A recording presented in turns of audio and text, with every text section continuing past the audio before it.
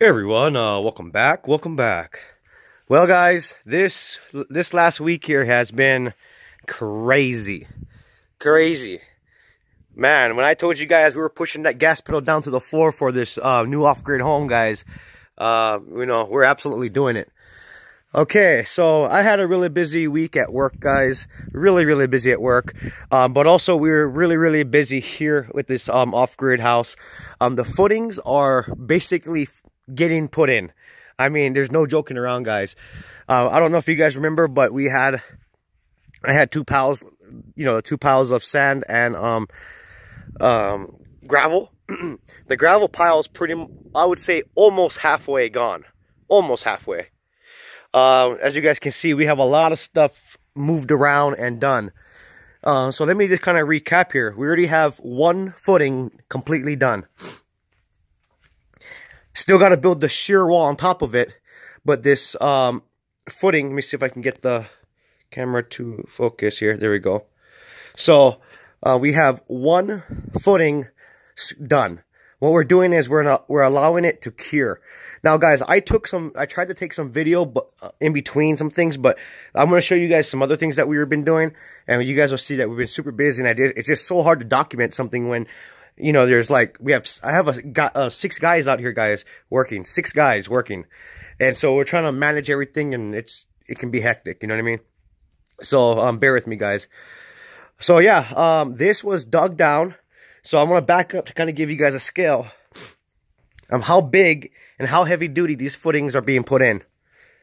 So here is the middle, technically the shear wall for the middle of the home, underneath my home. So I back up here, you guys can kind of see the scale. So every footing is 8 foot this way and 8 foot that way, okay? Now, if you guys can see in there, look how deep this is. This is pretty deep, guys. Um, we're going over, over, we're making sure we go over 24 um, inches deep at least. Now that's a lot of lot of concrete, guys, and then also 24 wide. Uh, so you know what I mean. That's a lot of material going into this footings, guys. A lot. Um, originally, it was going to be a little bit smaller as far as the diameter and stuff. You know the um, depth and the width and all that. Um, but I said since we're doing it, I said, you know, it's not going to hurt by going overkill on the footings, you know, because this is the one thing you put it in and you're never going to mess with it again. So as you guys can see, that takes a lot of concrete.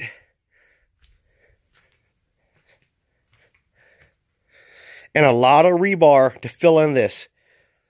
So basically the same way this one is dug out was the same way that one was dug out. And then the rebar was all set inside. Uh, and then they went ahead and formed everything up.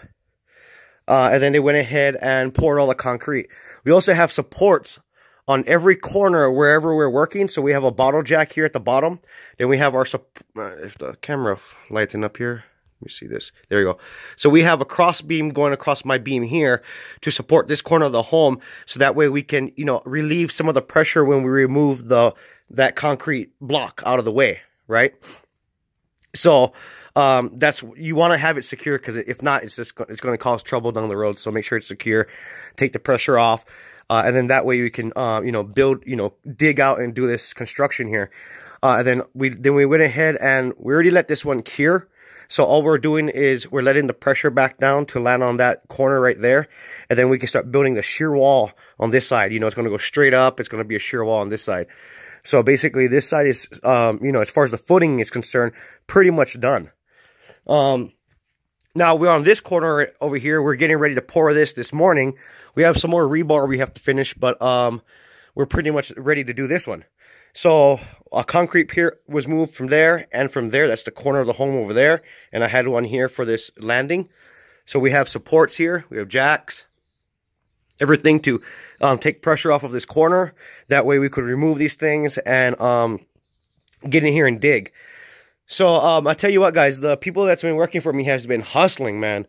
I mean, hustling. When I mean hustling and working hard, um, there was one night I, I was working really, really late. I didn't get home until about 10 o'clock at night. But my guys stayed out here working, guys, digging, putting rebar in, you know, um, trying to get um the form squared away for whatever we're doing. They stayed out here until 9.30 at night, guys. All six of them. Wow. you know? And I made sure I bought them beer and all that kind of stuff. You know what I mean? You want to keep your workers happy. So I've been going through every day. I've been buying, um, you know, multiple 12 packs of beer. so, but yeah, here's the footing for this corner over here. It's going to be a little hard to see. There we go. So they're getting ready to put their, um, their, their, uh, the rest of the rebar in here. It's almost done, but not quite. Got to put some cross pieces in the corner over there. Uh, and then it's got to be, uh, I believe that corner right there has got to be moved up a little bit. Um, but yeah, it goes all the way this way. So eight foot from there to there, from there to here. And then there's rebar going underneath each one of these um, concrete piers itself to lock it all in, right? So there's a there's a lot of concrete that's going to go in this one. So that's the game plan today, guys, is uh, finish up the rebar in this one, pour the concrete in, and then basically let it sit. And then, uh, they're, they're, I think they're going to, today, three guys are going to come out, not six guys. Uh, it is the weekend, right? So I can understand some guys are going to take off or whatever. Um, but um, this uh in about an hour or so they'll they'll probably show up um we're gonna have three guys so probably maybe um they're gonna work as a team to probably get that all squared away over there as far as the concrete and then they're gonna come over here and start um putting installing the rebar for this one here um that way uh on monday or tuesday uh when they come back um this one's gonna be ready to pour concrete in and then that one will be done and then now there's only two more to go guys we have the back corner one back there and that one over there so we've already started to move all the all my junks and all my stuff out of the way, right? Uh, so we move, trying to move everything out of the way for them to make room. So I got my other worker coming today. Uh, so we're gonna have a total of what four or five guys, including me. So that's probably six guys to, again today. But um, I'm gonna have him come out. I'm gonna have have him help me move everything to the side, help me consolidate everything out of the way. Um, that way, when these guys get ready to start digging the, those corners, you know, there's nothing in their way. So yeah, doing pretty well, guys. The only problem is now, since everything has been moved pretty much, I don't know where any of my stuff is at. You know, like the small stuff I, I normally use daily, you know, like certain things. I don't know where anything's at. Which kind of sucks, right? Because when you need something, you need to get it, you know, but everything's just scattered right now, so... But yeah, man, guys, look, man, we're, we are pounding this out, guys. Pounding this out. You know? Look at that. Very nice. Just got to finish up the, the shear wall.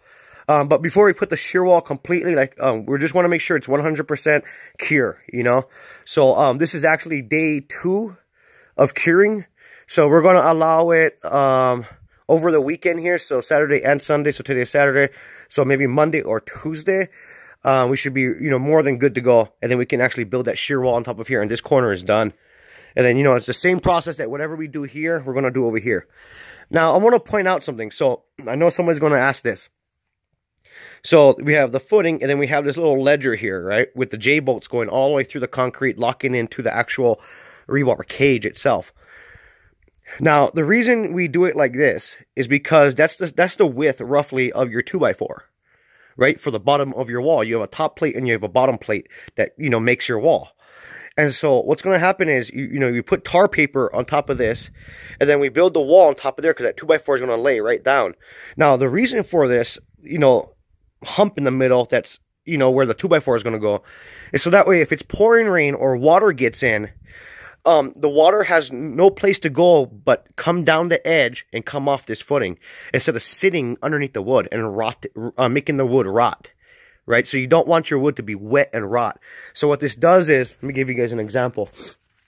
So when the 2x4 is sitting on top of here, right, and we have these bolts coming through to lock that wall down to this, if it's raining, coming in, coming down the wall, or inside whatever, there's there's no real, there's not a lot of surface area here for the water to puddle and stand, right? So the water has only one choice. It has to go around or go down the, the edge of it and run off to the edge.